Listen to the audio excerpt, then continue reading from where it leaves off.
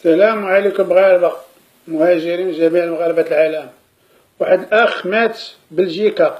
خطابي أمين. زايد نهار 11 شهر 6 82 والناس اللي في بلجيكا باغيين يصيفطوه للمغرب ما عندوش الوراق. ود كازابلانكا.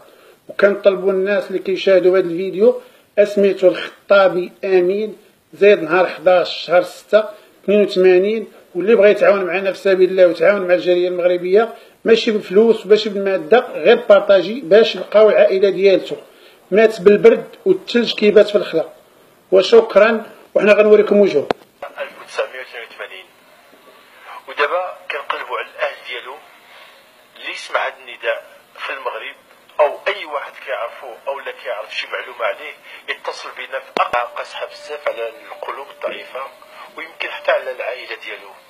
غادي يقدروا يتشوكاو من غيشوفوه فعلا لأنه ميت ومات هنا في بلجيكا.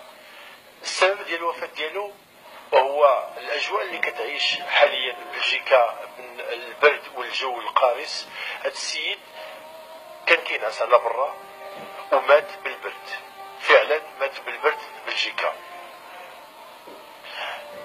عندهمش الاوراق أي المقيمين الغير الشرعيين هنا بلجيكا. للأسف الشديد البرد أدى إلى الوفاة ديالو ودابا وكنطلبوا أي واحد بارك شي قهوة ولا بارك كيلعب التليفون ديالو شاف هذا الفيديو يبارطاجي ولا عرف هذا السيد يدير آجر في سبيل الله. وشكرا وبارطاجي باش دي آجر.